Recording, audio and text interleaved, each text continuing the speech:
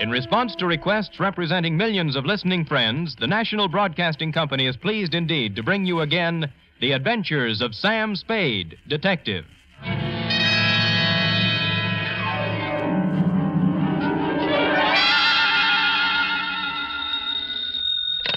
Hello? Me, sweet. What number have I got? Sam Spade Detective Agency, but Oh, oh, well, me, sweetheart. something's happened. Call me later, Dwight. Dwight yet. Look, I didn't know you. You were in town. You didn't write to me or. Effie, F. Yes? This is me in the flesh, Sammy the Spade. Oh. oh, now what? Goodbye. Effie, I'm in a payphone. My nickel is running out. Oh, Dwight, how can you be so cruel and play jokes at a time like this? Wait, wait, listen. Ella, you listening? Yes. I am not dead. Don't believe everything you read in the papers Huh? or hear on the radio. Yes, You were at my funeral. Is that what you were about to say? Yes. And it was lovely. Don't believe that either. Stay right where you are, sweetheart, because I'll be there, alive and handsomer than ever, with an account of a caper which proves you can kill some of the people part of the time. My exaggerated report on the death of Sam Spade.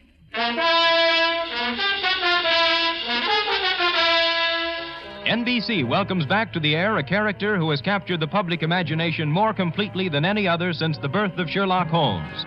William Spier, radio's outstanding producer director of mystery and crime drama, brings you the greatest private detective of them all in The Adventures of Sam Spade.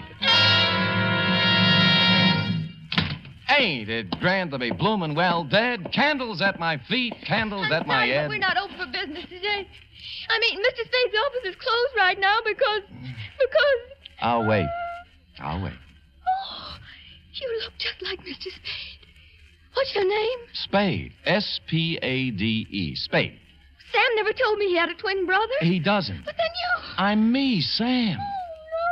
Oh, no, you... Oh, wait, come here. Now do you believe me? Well, I, I know. Oh, what's the use? Oh, oh, you're so much like him. Oh, never mind, never mind. Now get your pencil and paper and take it. Date November 17th, 1950. To Miss Effie Perrine. That, that's me. From Samuel Spade. That's me. License number 137596. You must have been the last one to see him alive. Did he tell you to give me a message? Shut up. Subject My death. Dear Effie, since the sight of me in the flesh, breathing, hungering, and living doesn't convince you, maybe this report will. Think, if you can, back to last Monday. Now, if you recall, it was about 11 o'clock when, on the flimsy pretense that we needed stamps for the office, you drew $2 from petty cash and stepped out to buy a pair of step ins. And that's when my client materialized. He was small and thin and carried with him the unmistakable odor of stale flowers. His black alpaca suit, string bow tie, elevator shoes, and white gloves had no bearing on his conversation. Oh, dear. My name is Chester Swan. Are you sure? Y- yes. Uh, my name is Spade. What can I do for How you? How tall are you, Mr. Spade? Six feet in my feet. Weight? 178. I always notice a man's bone structure, don't you? Oh, always. but- Open. Huh? Open. Let me see inside. Oh, oh. Uh, I guess. Mm-hmm. Uh, all right. Fine. Oh, well, now that you know me this well, Mr. Swan, what can I do for you? Oh, dear. Perhaps I perhaps I shouldn't have come here at all. I'm I'm sorry, Mr. Spade. Well, really?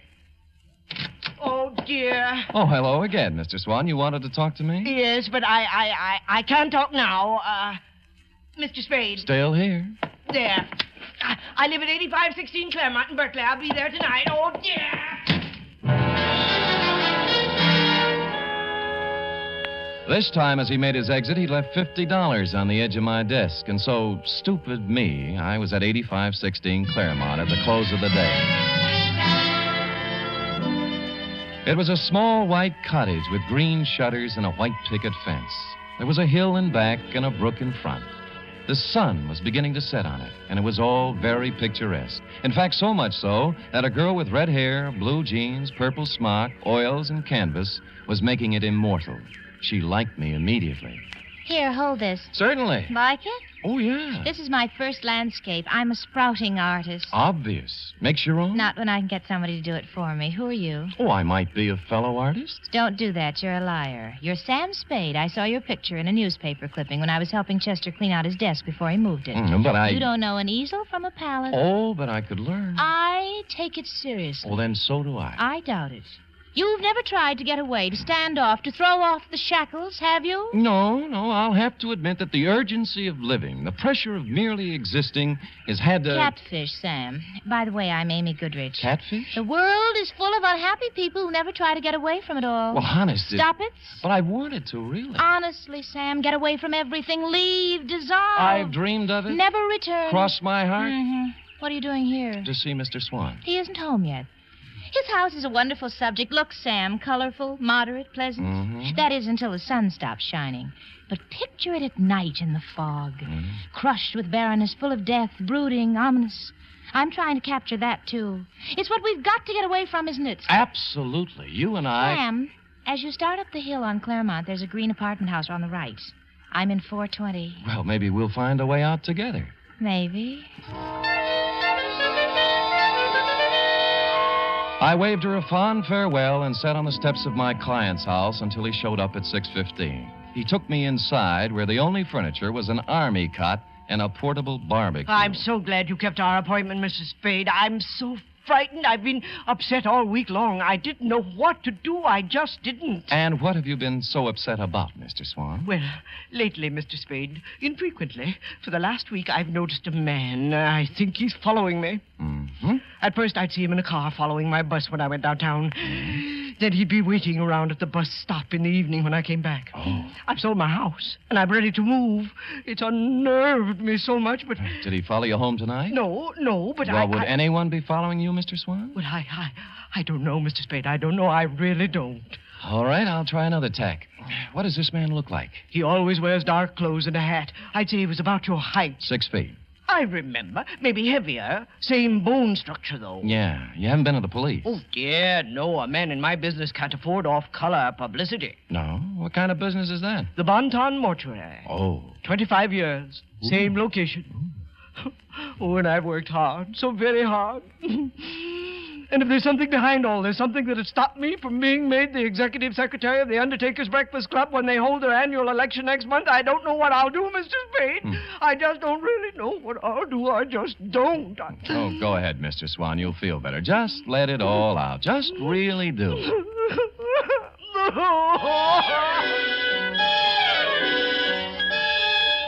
And he did. When he stopped crying, I instructed him to go about his daily habits as always and left, assuring him I'd get to the bottom of it all. I walked down to the corner ostentatiously, which is a neat trick well calculated to throw nefarious observers off the track and lull them into false security. And when the bus showed up ten minutes later, I got on it, rode three blocks, walked back, and took a plant across the street. A clever ruse, as you see, to invite a showdown. Two hours later, a man about my size and dark clothes appeared over the hill and crept stealthily to the front of my client's cottage. He had his eyes glued to the window when I walked up behind him. Hey, let go, let go of me. Come on, you're going inside. Listen, I'm no peeping Tom. No, no, you're the bloodhound type. I'm inviting you in for a real sniff at Oh, your no, you don't. I. Well, all right, then. I'll go quietly. No, Okay, that's better. Now we'll just walk on. The kick he landed on me wasn't according to Queensberry.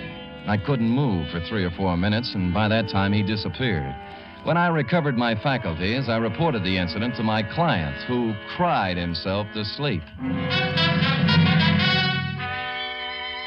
After I bolted him in for the night, I stopped on my way down the hill at apartment 420 in the little green apartment house. She was still wearing the blue jeans and the purple smock, and she still had the same ideas. Come in, Sam. You said you were serious about getting away from it all, and a whole day has passed. It was that pressure of living. I'm, I'm here to apologize. Mm, you are not, but go ahead. I'm sorry, Angel. I love to be fooled, Sam. You're forgiven. Uh, how's the painting coming? The, the one of Swan's cottage. Slow. Fog is always tough. Looks nice, though. How long you been on it? Three weeks all told. Well, then you've had a pretty good plant on the house, haven't you? Ever notice a tall, broad-shouldered guy in a dark suit casing the place? Tall, broad-shouldered. Pretty much like me. Could anybody be pretty much like you, Sam? No, you're right. Sam, is there something wrong? No, no. Well, then don't stand there doing nothing. Do something. Who, me?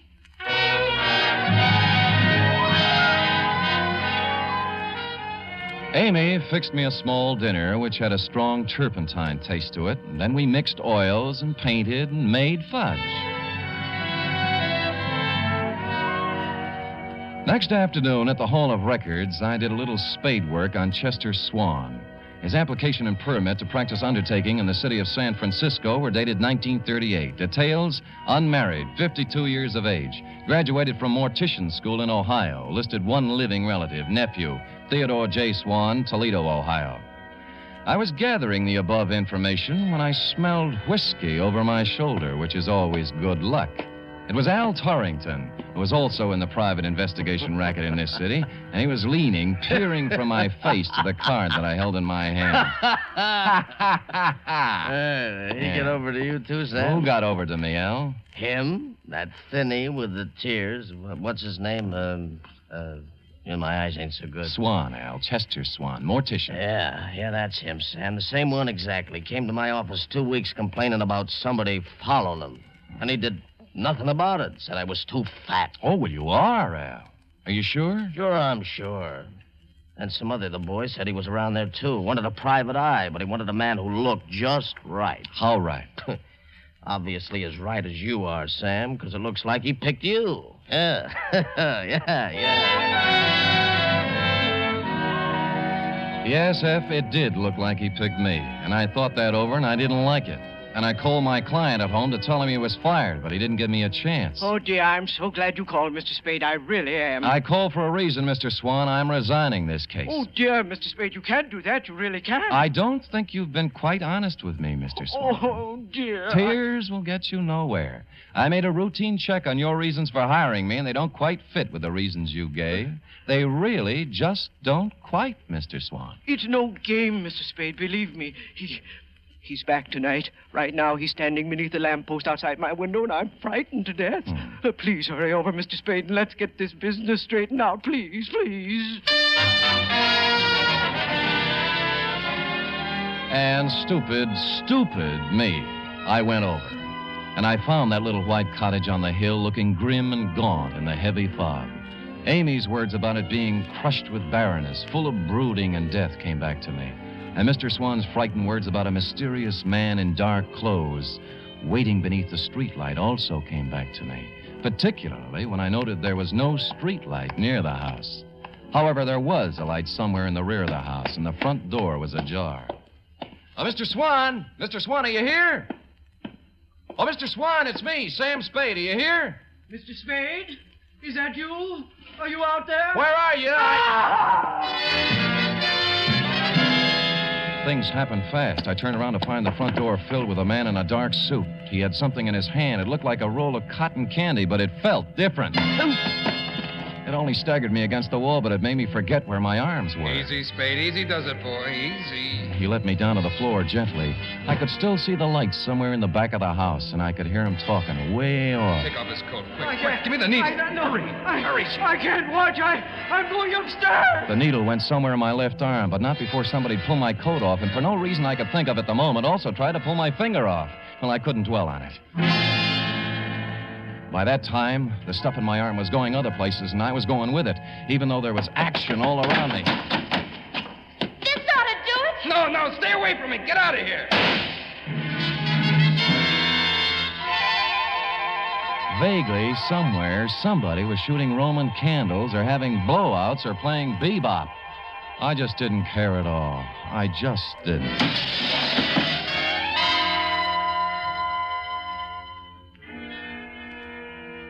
First thing I saw was sunlight. It was the kind you see in a picture.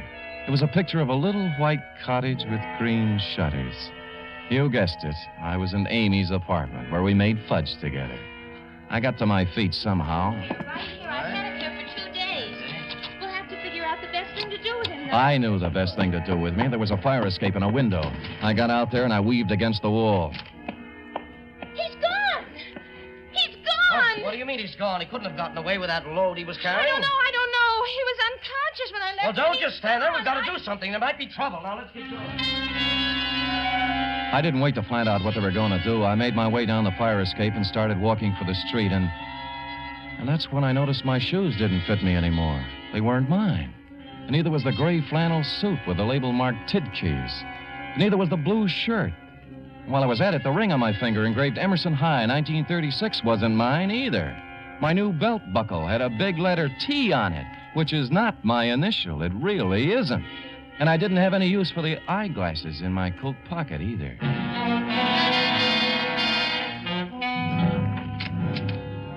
You were out when I walked in the office, Effie, but you'd been there. There was a black crepe done up in a white satin ribbon hanging on the door. The desk blotter was drenched with salt tears, and a newspaper folded back to page 13, and I'll sue the Chronicle on this if it's the last thing I do, gave me a two inch spread. Item November 15th, 1950. 15? What happened to the 13th and the 14th? Detective perishes in Berkeley fire. I read it through once, then twice. It was my obituary.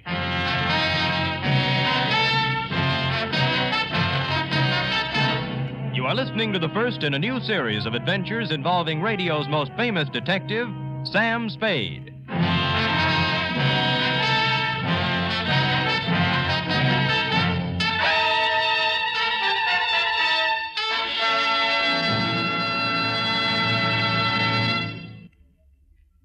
Later tonight on most NBC stations, Duffy's Tavern comes your way with another merry half hour session, starring Ed Gardner as Archie the manager. There's a full serving of laughs garnished with chuckles and whipped up by Archie and his unpredictable friends, Miss Duffy, Clifton Finnegan, and Eddie the waiter. It's just one of the many great Friday evening entertainment features on NBC. It's Duffy's Tavern, your cue for better listening where the three chimes always mean good times. Make it a Friday evening habit to tune early and stay late at your favorite NBC station.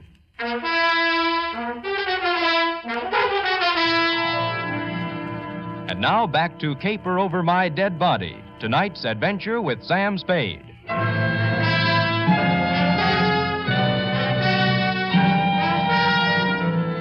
I left the crepe on the door and went out to buy a new desk blotter and some more newspapers. The Hobo News had the best story, which wasn't much. Samuel Spade, licensed private investigator, perished Wednesday night in a fire in a vacant house in Berkeley. His warm friends will feel regret at the passing of a man who was always kind to the poor. None of us ever asked Sam Spade for a handout without receiving a kind word and bon mot as he turned us down. This was nice, but I wanted more. I figured I was fairly safe to wander about unrecognized. My ill fitting attire acquired from my unknown benefactor would be disguise enough when combined with my two day beard. Engine Company 16, Berkeley Division, had handled the fire, and half a block away was a grog shop called the Shamrock. I waited for a fireman to come in. Bartender. Bartender! What kind of a place are you running now? I've been here five minutes already. All and I- right, shut up, Patty. You just arrived. Well, it seemed like five minutes. A, a- a wee bit more there, if you Uh, don't that's mind. enough for you, Patty. You're still on duty. I am not. I'm off now. The chief said I could be off. It ain't every day I receive such a shock to me system. You received your shock three days ago. And I'm still shaking, man. oh, the sight of him was terrible, terrible. Burnt as black as the good saint's beard. All twisted and horrible in death. He was probably dead drunk and didn't know what happened to him. And were you there fighting the flames and finding him like me? Hmm?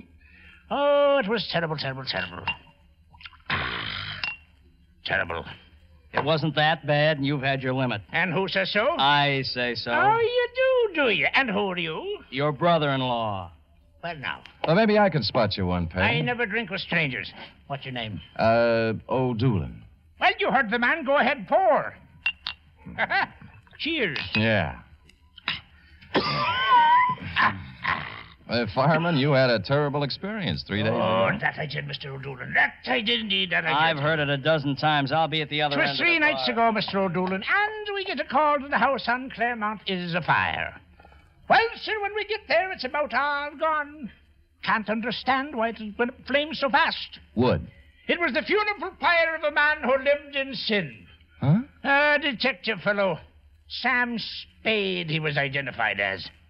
Oui. Oh, one moment, fireman. I've heard fine things about him. Ah, some of those uppity police fellows from the Division of Homicide said he was a nice fellow. But some of the boys at the fire station and myself, well, we got our own ideas about that. Oh, what kind of ideas, Patty, my boy? What kind of good can any man be accomplishing in an empty house late at night, I ask you, Mr. O'Doolin? Hmm. Oh, he was done to a turn, he was, when I burst in the door with me axe. Saved Satan the trouble. charred. Empty whiskey bottles scattered all about. Sin, O'Dolan, sin. He'd gone to sleep with a smoke and cigarette that set the whole place off. Vice rampant.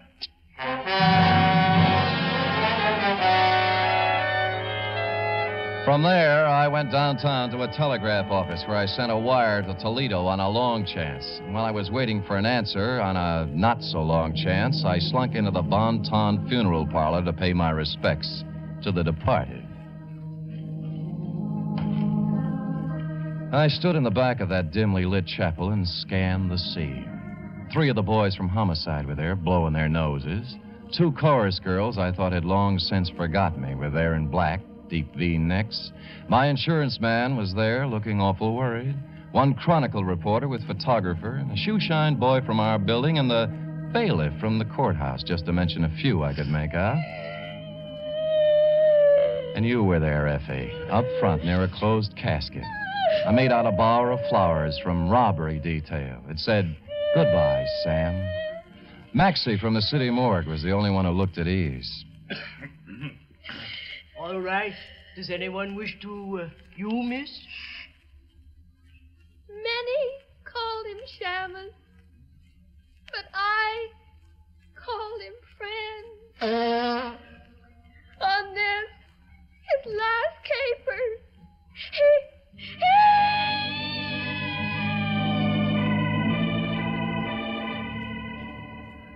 I was touched, Effie, and I would have stopped the whole thing then and there, but I had to find out who was in that casket. I reeled out the front door with tears in my eyes and slid around to the back door and into Chester Swan's private office. And there I made a phone call and got an answer to my telegram, which caused me to make another call to his bank.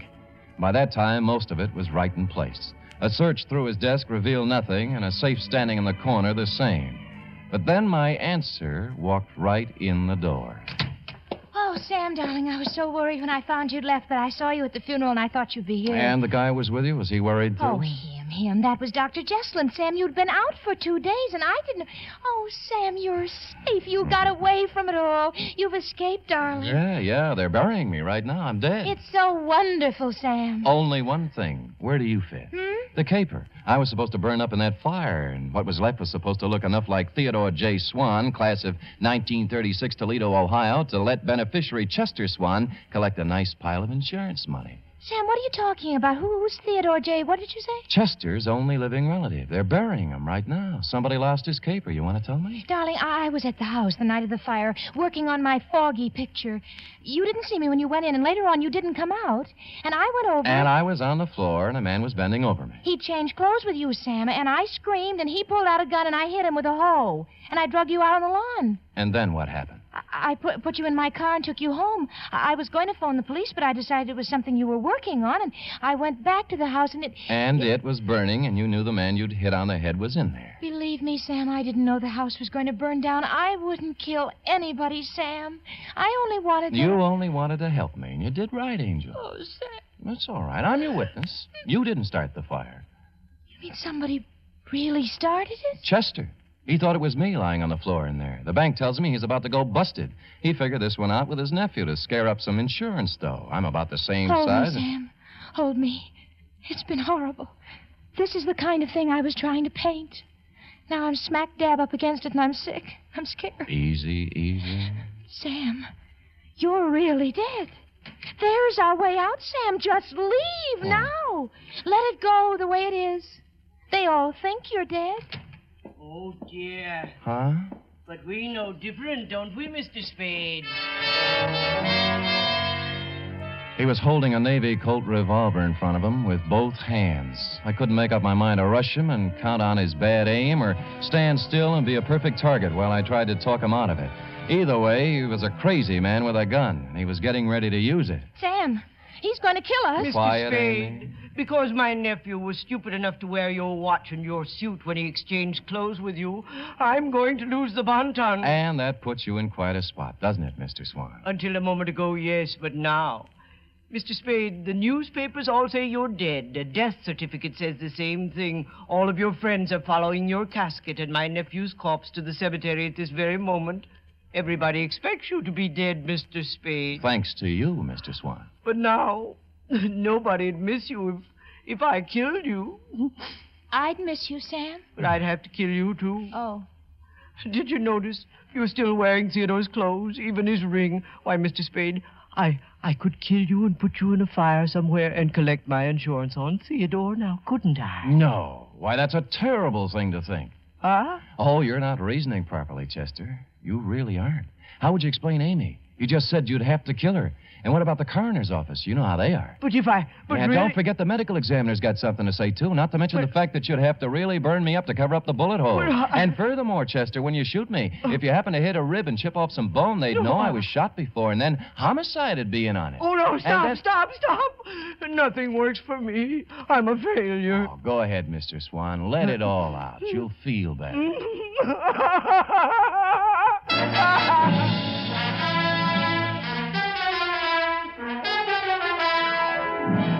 And he did. And he's still crying in his cell downtown. Period. End of report. Oh, Sam, you were so brave. You actually stood there and talked that crazy man out of out of murdering you. You were wonderful. True, Effie? Amy thinks so, too. She's uh, going to do me in oils when they let her out of the pokey. Amy's in jail. What for, Sam? Oh, technical charge of an involuntary manslaughter. They'll spring her as soon as the coroner's inquest is completed. Dear Amy. Did she make good fudge, Sam? Fudge? Oh, that was the least of it. Oh? What do you mean? After the fudge. What then? Penuche. Oh, boy, oh, boy. Say, go type that up, sweetheart, while I see if there's any mention of my miraculous resuscitation on the radio page. Hmm. Go, go. Scoot, scoot.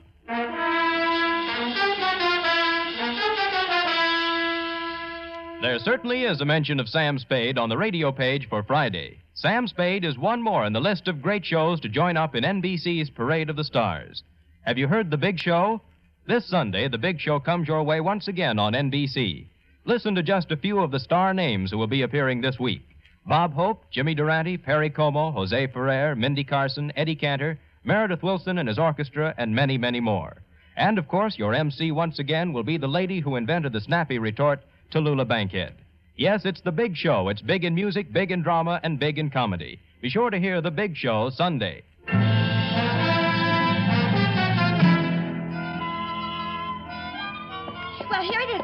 All typed up. Good. I will sign it, and you will keep it always to remind you that I'm still here. Oh, Sam. Living, breathing, brave, and handsome. A paragon. Mm. Sam, what will we do about the mail? The mail? What mail? Where? Which? All the letters and postcards and telegrams and all that came when when people thought you. Oh, when, you weren't good. When they thought you were. Oh, there have been enough tears tonight. Effie. Oh, Sam, it's so good to have you back. Will you be the same as you always were? Well, I'm going to try. Effie. Because then you can't help but be, like they say, the greatest private detective of them all. We'll see. Good night, Sam. Good night, sweetheart.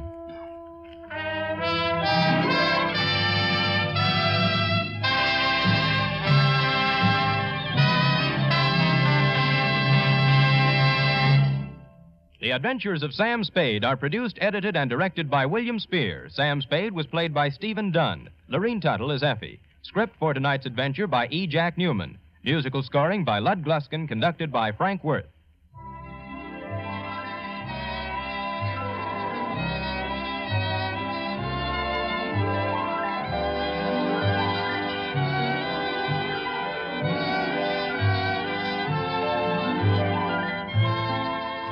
Join us again next week, same time, for another adventure with Sam Spade. Hear the magnificent Montague, then visit Duffy's Tavern on NBC.